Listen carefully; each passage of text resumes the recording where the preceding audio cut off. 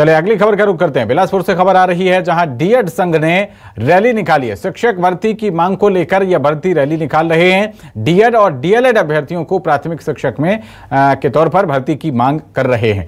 Supreme court के आदेश का पालन करने के लिए डी डी डीएड अभ्यर्थियों का सहायक शिक्षक पद पर नियुक्ति के लिए ये रैली निकाली जा रही है।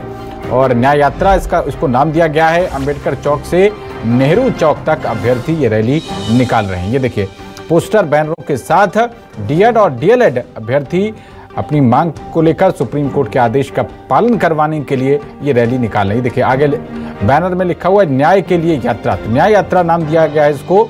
अंबेडकर चौक से लेकर नेहरू चौक तक अभ्यर्थी ये रैली निकाल रहे हैं ताकि शासन की और प्रशासन के जिम्मेदार अधिकारियों की नज़र इनकी समस्या के ऊपर पड़ सके। और इनको न्याय मिल सके, इनकी मांगें पूरी हो सकें। इसी आशा के साथ शिक्षक भर्ती की मांग को लेकर यह अभ्यर्थी रैली निकाले news twenty four Madhya Pradesh Chhattisgarh, आपका अपना चैनल। सबसे पहले ये खबर आपको दिखा रहा है। एक्सक्लूसिव तस्वीरें इस वक्त देख पा रहे हैं आप।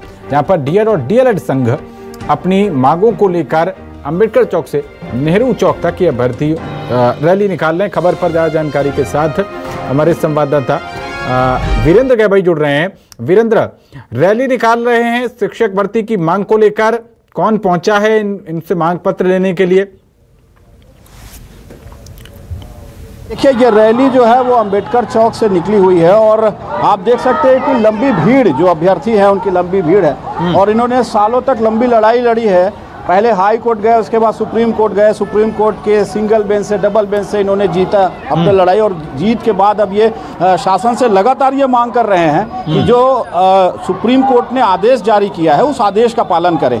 ये जगह जगह जा रहे हैं पर इनकी मांग नहीं मानी जा रही है इसलिए इनको सड़क पर उतरना पड़ रहा है। इनसे जानते हैं कि किस तरह की मांग है और लगातार हम इस मांग को उठाते रहे हैं। आपका क्या कहना है? सबसे पहले न्यूज़ 24 मध्य प्रदेश छत्तीसगढ़ की चैनल को हमारे पूरे टीम की तरफ़ से बहुत बहुत धन्यवाद, क्योंकि ये चैनल ही है जो हमको, हमारी बात को जो है सरकार तक पहुँचाने का प्रयास करती रही है। फिर भी अभी तक सरकार के कान में अभी तक जू नहीं गुजारी है और कोर्ट के आदेश की अवहेलना कर रही है। कोर्ट के आदेश आए हुए, हाई कोर्ट के आदेश आए हुए आज छः महीने हो गए, सुप्रीम कोर्ट के आदेश आए हुए आज 20 दिन से ऊपर हो गए हैं। उसके बावजूद भी सरकार इस पर कोई एक सिंगल नोटिस नहीं जारी की है, कोई आदेश जारी नहीं की है। हम पिछले एक साल से पीड़ित हैं और लगातार संघर्ष करके एक साल से लड़े हैं। उसके बावजूद भी आज इस प्रकार से हम लोग आकर के रोड पे खड़े सड़क पे खड़े हैं। ये कहीं ना कहीं न्याय व्यवस्था को, सरकार की मंशा को ये उजागर कर रही है। उनकी जो न्याय की छवि होती है देश में, संविधान की जो एक सर्वोच्च शिखर पर रहता है न्यायालय, उसकी भी अवहेलना करना कहीं ना कहीं सरकार की मंशा को भी ये आप लोग अधिकारियों के पास जाते हैं, मंत्री के पास जा रहे हैं क्या कहते हैं, क्या आश्वासन दिया जाता है? जब सुप्रीम कोर्ट ने कह दिया है कि इनकी भर्ती कर लीजिए क्या कहते हैं जो नेता मंत्री सर जिसके पास भी जाते हैं अभी हम लोग कोरबा से आए हुए हैं विधायक के पास गए थे तो लोग बोलते हैं कि हम आपकी मांग को मुख्यमंत्री जी के पास रखेंगे और अब हमको सिर्फ़ आश्वासन दिया जा रहा है सर। पिछले एक वर्षों से सिर्फ़ आश्वासन दिया जा रहा है। अभी हम माननीय सर्वोच्च न्यायालय से जीत गए हैं तो भी से हमारी नियुक्ति नहीं की जा रही है। हम सिर्फ़ आपके माध्यम से मुख्यमंत्री जी से अनुरोध करते हैं कि जल्द से जल्द डीएड वालों की नियुक्ति की जाए। बस मेरी यही आगे आगे लड़ाई जो है आपकी जो लड़ाई वो किस दिशा में जाने वाली है क्या करने वाले हैं आगे किस तरह से लड़ाई लड़ेंगे? हम जो है लोकतांत्रिक ढंग से शांतिपूर्ण ढंग से जब तक हमारी मांगे पूरी नहीं हो जाती तब तक जो है आंदोलन करते रहेंगे शांतिपूर्वक। जो नेता मंत्री हैं उनके पास आप बार बार जा रहे हैं क्या कहते हैं? पहले जब चुनाव था उस दौरान तो कहा गया कि आपकी भर्ती कर ली जाएगी। अभी क्या कहते हैं? अभी उनका कहना है कि हम इस पर निर्णय लेंगे। सबसे पहली बात यह है कि जो विभाग शिक्षा का, शिक्षा विभाग है, वो मुख्यमंत्री जी के पास है। हम लगातार मंत्रियों के माध्यम से, विधायकों के माध्यम से ये गुहार लगा रहे हैं कि हमारी एक मुलाकात करा दे, हमारी मांग जो है, कोर्ट का आदेश है, उसको उन तक पहुँचा दे। लेकिन आज तक हम पिछले चार महीने में कम से कम 20 बार प्रयास कर चुके हैं। अभी हाल ही में पिछले एक सप्ताह पहले हम उनके आवास के सामने अनुमति लेकर के गए हुए थे। उसके बावजूद भी उनसे मुलाकात नहीं हो पाई। रात को 11 बजे तक हम उनके आवाज़ के बाहर ही खड़े थे, भूखे प्यासे। उसके बावजूद भी हमारी मुलाकात मुख्यमंत्री जी से नहीं हो पाई और हमारी बात अभी तक नहीं पहुंचाई गई है। हम विभाग को लगातार सूचना दे रहे हैं कि कोर्ट के आदेश को आए हुए आज लगातार छः महीने से ज़्यादा हो गए हैं। कहीं पर भी सुप्रीम कोर्ट का कोई ऐसा आदेश नहीं था कि इस हाई कोर्ट के आदेश पर रोक लगाई जाए। हाई कोर्ट का जो आदेश है उस पर कोई भी इरर नहीं है, कोई भी कमी नहीं है। सुप्रीम कोर्ट ने एक बार नहीं, दस बार कहा है। उसके बावजूद भी आज विभाग और सरकार उस पर कोई भी एक्शन नहीं ले रही है, उस पर ध्यान नहीं दे रही है।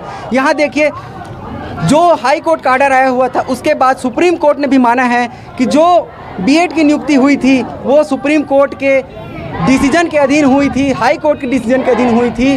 और सभी राज्यों को 4 सितंबर 2023 को सभी राज्यों को सूचित कर दिया गया था विभाग को कि एन है।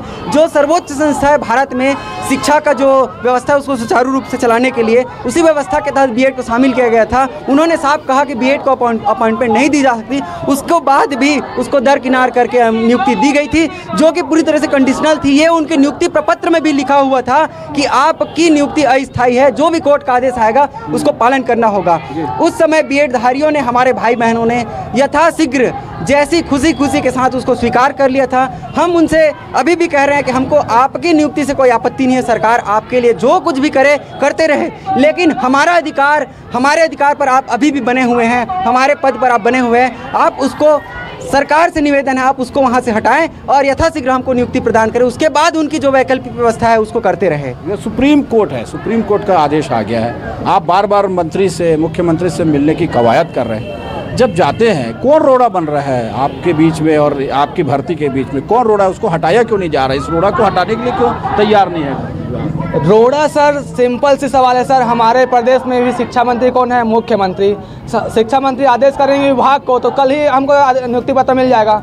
हम बार बार विधायक के पास जा रहे हैं, मंत्री के पास जा रहे हैं, मुख्यमंत्री के, जहाँ जहाँ मुख्यमंत्री जा रहे हैं, बस्तर से लेकर के सरगुजा तक, जहाँ पर भी सभा में जा रहे हैं, जहाँ पर किसी भी सभा में उपस्थित हो रहे हैं, हमारे डी वाले अभ्यर्थी चालीस से पचास की संख्या में जाते हैं और अपनी मांग को रखते हैं। क्या मांग, सर? जो सुप्रीम कोर्ट ने आदेश दिया है। क्या मांग, सर? जो हाई कोर्ट ने आदेश दिया है। हम उसी मांग को लेकर के जा रहे हैं। लेकिन हमारे एक भी बात को, हमारे एक भी आवाज़ को आज तक सरकार ने, ना ही विभाग ने, एक सिंगल नोटिफिकेशन जारी नहीं किया, सर। ये हमारे लिए दुर्भाग्य की बात है। हम एक साल से पीड़ा भटक रहे हैं। सुप्रीम कोर्ट, हाई कोर्ट में सारे हमारे एडवोकेट ने सब मतलब बार बार सर 21 अगस्त 2 अप्रैल 8 अप्रैल 15 जुलाई 28 अगस्त 2024 मैं कितने कोर्स के, केस के बारे में आपको बताऊँ? यहाँ तक के दूसरे राज्य के जो जजमेंट हुआ है उसमें भी हमारे हाई कोर्ट के जो छत्तीसगढ़ का मामला है उसको भी उठाया गया था। वहाँ भी मतलब ना जज साहब भी थक हार मान गए हैं कि आखिर उन लोग को तुम नियुक्ति क्यों नहीं दे रहे हो? जज साहब मतलब हमारे सर्वोच्च न्यायालय के जज भी मतलब वो भी थक गए हैं कि इन लोग को आखिर नियुक्ति क्यों नहीं दे रहे हो?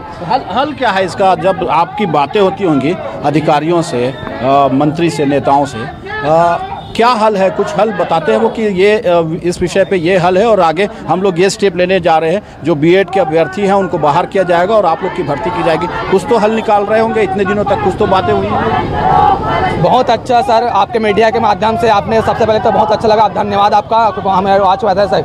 हल, सर, एक लाइन में इसका हल निकल जाएगा, सर। एक लाइन में हल निकल सकता है। एक लाइन में, एक लाइन में खत्म हो जाएगा। सीधी सी बात, पहली बात यह तो सरकार ने नियुक्ति दे दिया। अच्छी बात है आपने कोर्ट के आदेश का पालन कर लिया। सबसे पहली बात तो आपको नियुक्ति नहीं देना था दे भी दिया कंडीशनल जो भी जैसा भी हो। आपकी नियुक्ति कंडीशनल थी। एक लाइन में बोलो कि आपकी नियुक्ति अवैध है। ए जा सुप्रीम कोर्ट हाई कोर्ट। ठीक है बीरन जी। अवैध करो खत्म करो। बिल्कुल आप नज़र बना के रखिएगा। बहुत शुक्रिया इस जानकारी के लिए आपका।